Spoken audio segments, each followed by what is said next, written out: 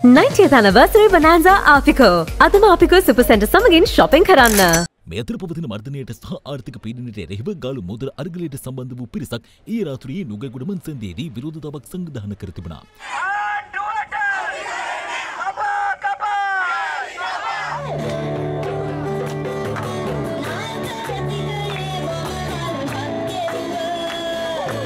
අවස්ථාවේදී ශබ්ද විකාශන යන්ත්‍ර භාවිත නොකරන්නයි පවසමින් පොලිසිය මැදිහත් වීමත් සමග එහි නොසන්සුන් තත්ත්වයක් හටගත්තා.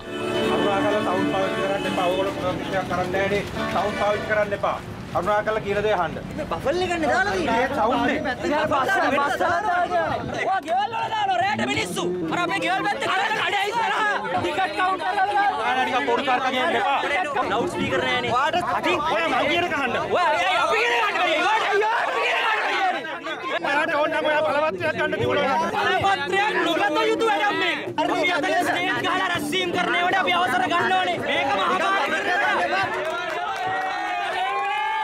පොලිසිය මහත්තුරුන්ට කියන්නේ කරුණා කරලා ඔගලන්ගේ දරුවෝ ඔයගලන්ට සාප කරයි මේ කරන වැඩේට. අපි නැවත නැවතත් රනිල් රාජපක්ෂලට කියනවා උඹලගේ කාලේ ඉවරයි දැන් මේ යන්නේ අපේ කාලේ